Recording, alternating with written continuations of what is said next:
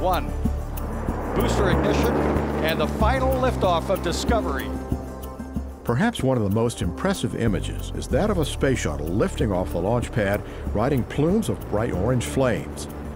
But more than just providing an impressive sight, shuttle images play a critical role in launch safety.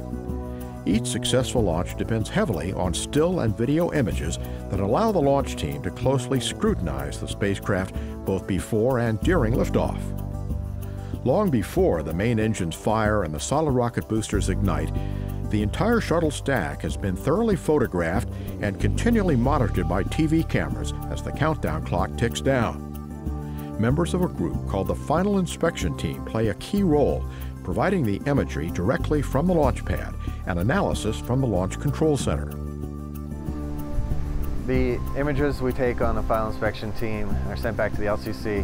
When we give the report to the mission management team and to the launch director, to the SPE, they can look at our imagery, and in particular ones we single out and tell them that we know there's a problem here. They can do analysis of their own on those images.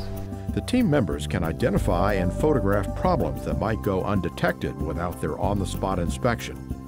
But the launch director and his team aren't limited to just images from the inspection team. In the LCC, we have the IceFrost console, and we continuously monitor upward to 135 different camera locations. Those assets are controlled by NASA and other contractors.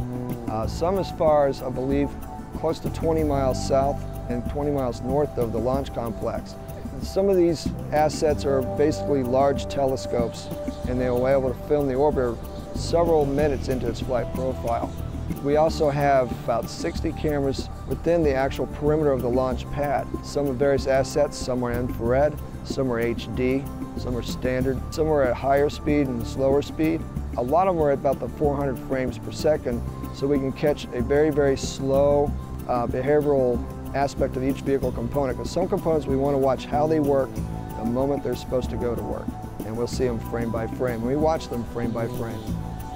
So as the final space shuttle pierces the sky over NASA's Kennedy Space Center in Florida, both technology and trained eyes will once again be keenly focused to ensure a safe and successful mission.